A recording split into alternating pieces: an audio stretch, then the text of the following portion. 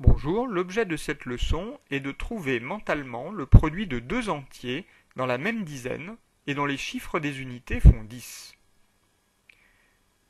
Pour expliquer, nous allons partir de l'exemple suivant, 34 multiplié par 36. Nous avons bien deux termes euh, dont les chiffres sont dans la même dizaine, puisqu'ils commencent tous les deux par 3, et l'addition de leurs unités, 4 plus 6, est bien égale à 10.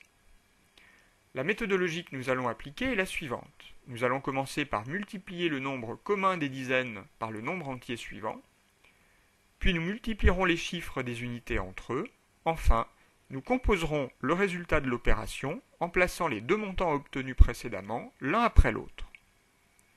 Ici, cela va nous donner la chose suivante. Le nombre commun des dizaines est donc 3, le nombre entier suivant est donc 4. 3 fois 4 égale 12. Nous multiplions ensuite les chiffres des unités entre eux, c'est-à-dire 4 et 6. 4 fois 6, 24.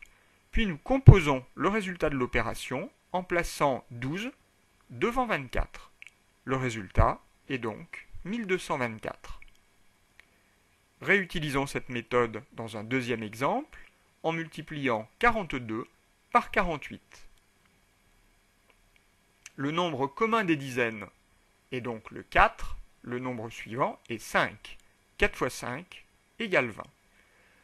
Les chiffres des unités sont 2 et 8, par conséquent 2 fois 8, 16. Nous pouvons ensuite composer le résultat en plaçant 20 devant 16, ce qui nous donne 2016. Je vous propose de vous entraîner à appliquer cette méthode à partir des cas suivants je vous suggère de mettre la vidéo en pause après l'énoncé de chaque opération afin d'avoir le temps d'effectuer vous-même le calcul mentalement avant de lire le résultat. 53 fois 57 égale 3021. 15 fois 15 égale 225.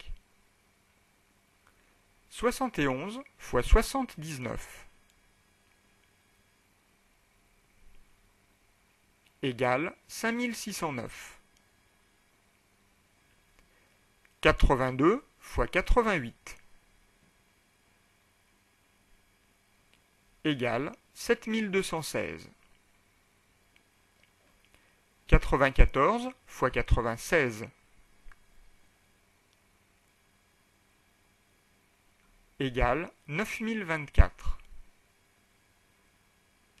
23 fois 27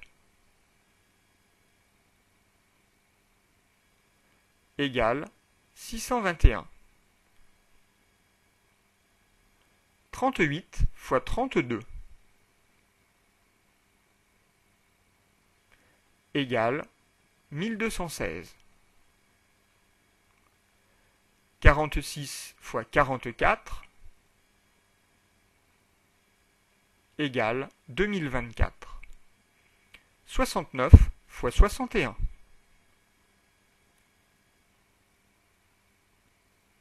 égale 4209.